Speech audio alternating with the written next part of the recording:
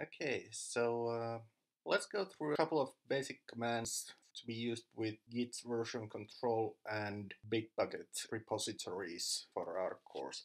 This is gonna be only a short, just the basics tutorial, but hope this helps to get things going along. I expect that you have already installed your version of Git. Some configuration that you might want to do or need to do is to set up your username, email address, and possibly other settings you wish to do. Almost every command will begin with git.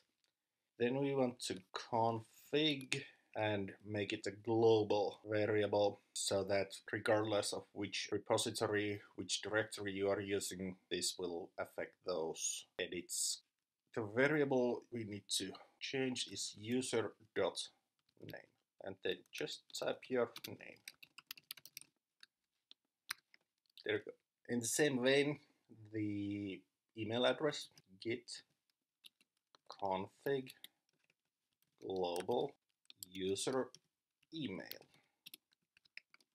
And I personally find the default editor that Git uses to be somewhat unintuitive for beginners, so I usually change it to something else. So git config global core dot editor nano. Then we have uh, edited what we need to. Let's get a repository going. You can do it either by giving the command git init, but since I already have one pre-prepared I will just clone the existing one and then I need to type in the address where that repository is residing at the moment. I'm using SSH uh, to connect to that repository and I've configured it to ask for passwords every time I use the SSH key. Okay, now the cloning is completed. There were some objects there that were downloaded and uh, let's see what there is. Okay, it's still an empty repository, which is what it should be. On the background there you can actually see that repository in a web browser window. We'll switch to that every now and then. Let's uh, create a piece of code. This is just a very basic rudimentary piece of code. This is just to show how the version control works. There let's save and exit. Now you can see there's the class.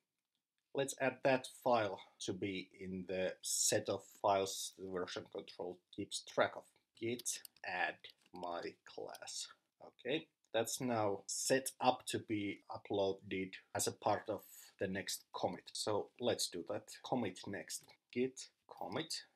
And with each commit you need to create a commit message. My class add this message is just to give an idea what was done during this stretch of work that this commit contains. Okay, one class was added and now that addition was committed to the version control system. Now at this point the version control is kept up to date only locally on this machine. So in order to be able to share, be able to do backups, we are using the Bitbucket uh, centralized repository so let's push that one git push. Now again we're using the SSH connection so we need to input our password. You can also create a key pair without using a password but of course that's a little less secure. Now we see that here total written objects have been done and apparently everything was successful. Now let's see that here in the version control system page. Now we see that the class we created is now visible to us via the web interface, which means that it's uploaded into the remote repository without any problems. And we can view the source here and check the commits history. Here you can see that, okay, this is the most previous commit, but there seems to be some history because this is old existing demonstration repository. That's how you do initial changes to repository. I should mention that you should each time before you push do pull. That is you kind of synchronize. If somebody else has uh, changed the remote repository then you can merge your own changes to those uh, remote changes that others have done and then upload yours without any problems. Let's change something. Let's say add methods okay there we go now we can check the difference between the files on the remote repository and files on our local. And as we can see from these plus signs here, this uh, other version of the file has these lines of code extra. So shouldn't be a problem. We can add those changes to the existing code without any major difficulties. Okay, and now let's refresh the page and see that okay these new additions are now pushed. Sometimes if you are working uh, with other people you might want to uh, create your own little sandbox where you can try stuff out and develop without it bothering others while you are doing something else and that's called branching. Git branch and let's give that branch a name work in progress or something descriptive okay? Now we have created a branch let's switch to that. Switch to branch WIP now let's do some more edits. Okay now just as before let's add that file and commit Now with uh, we changing the branch, we should tell that also the, the remote repository. Let's tell push set upstream origin and now the branch name. And let's see how that worked. Here we see that this is now branched out. If we check the master source, no nagging methods, but if we check the same file in the work in progress branch, there's our nag nag nag method. Now, let's go back to our master branch and let's try to merge our work in progress. Let's say we've finished doing what we were set to do and now we want to get that piece of work back to everything else.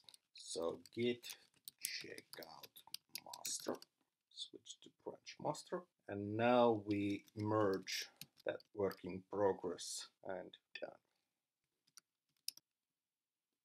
Now if we check the commits and branches, all branches, we should see that there's that work in progress. Commits, now that nagging method seems to be back in the main branch. Let's see if we can now see it in the master version of that. Yep, there we go. In case you would have some conflicts, you can use the git diff to see what problems there are and usually when you try to do the merge command it would say that okay now listen here. These lines and these lines they both try to occupy the same space. What you want to do? And then you can go into the file edit it so that it works the best way and then just continue one other thing you need to do on this course is uh, to tag your commits and let's see. Now you can always tag the latest commit with just git tag. Let's give it a name nag. That's now tagged again locally uh, but if we use the tags switch to push command it will just push the tags the remote repository and now this just highlights it so that we can basically search for versions for something some specific commit with easy to remember name instead of a commit hash number that is kind of not user friendly way. If we forget to do that tagging after we have committed, no problem. We can use this code here to just back tag, so to speak, any commit we want. And let's tag this first one git tag, let's call it re-init, and then just give that commit code which we want to apply this tag to. And again, git push tags, and that should now appear there. Yes, that's about it. I'll leave a couple of links under the video in the description for reference cards that will help you uh, remember these basic commands. If you happen to forget them, it's okay. If you start using them regularly, you will soon remember the basic commands. That's it. If you have any questions, please contact me and we'll get back to those. Okay, thanks. Bye.